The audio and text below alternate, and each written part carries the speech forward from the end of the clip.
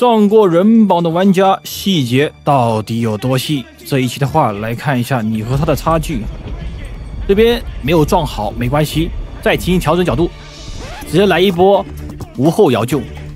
飞轮防清刀没有，那么就选择卡位，然后再拉一个小回旋球，一波撞击，无伤的成功让队友转进板区，大家都很爽。你以为我只会玩前锋吗？不，你错了。开门战只一个无后摇球，但是发现距离不够，那么怎么办？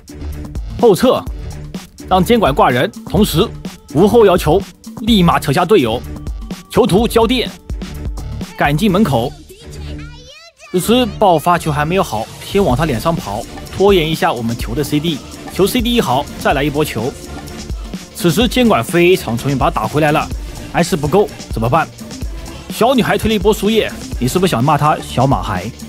不，你错了，她是在给我们拖延时间。爆发和飞雷一起用，直接救下囚徒。开门战，三人三跑，就是如此简单。你不会以为我只会玩击球手前锋吧？我还会牛仔哦。把盲女勾过来，这个时候帮助他转点。他晕住了，没关系，因为刚好下了一个板子，身位不够，没关系，有我在。再进行一个勾点。